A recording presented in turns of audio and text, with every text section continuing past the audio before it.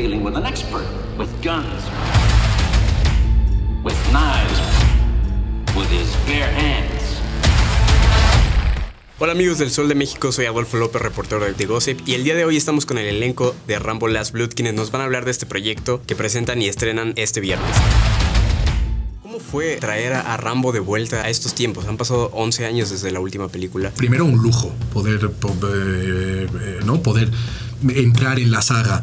Eh, y luego hay una parte muy orgánica del proyecto que es que, que tanto Sly como Rambo tienen una edad la cual era importante representar esa edad de la forma más lógica posible.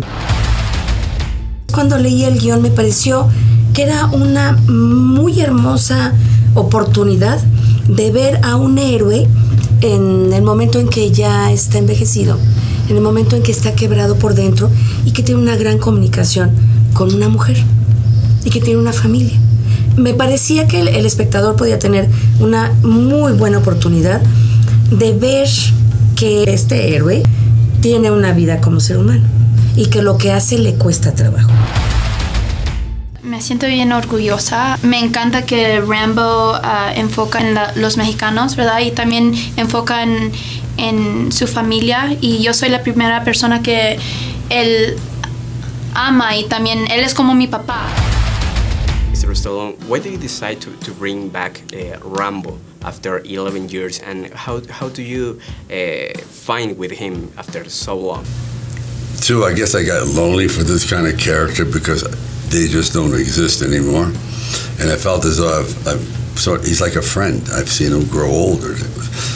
And the way the last one ended, you could say, is that the end of a movie or the beginning of a new one? Because you don't know who's in that house. So that's what triggered my mind. How, how can you describe your, your career after 50 years? I had an opportunity where a lot, of, a lot of actors didn't because I could write it.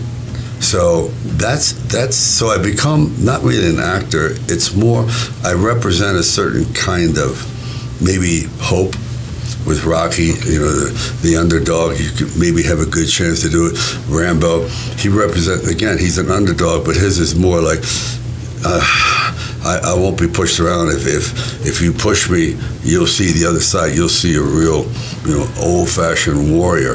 So, they don't make those kind of men anymore. You know, society is moving on and become much more technological. So that that's the key is the writing is what basically changed my life. And so I see myself more of a writer okay. than an actor. And when you start your, your career, you, maybe you think that 50 years later you eh, continue starring movies? No. It, a 50 year career is impossible. Yeah. You know? Yeah. Yeah. You know, this is, I, I don't know if it's going to happen, but if this movie opens, number one, this will be you know I would have had a number one movie in six different decades. Wow. Wow. That's amazing. That's amazing.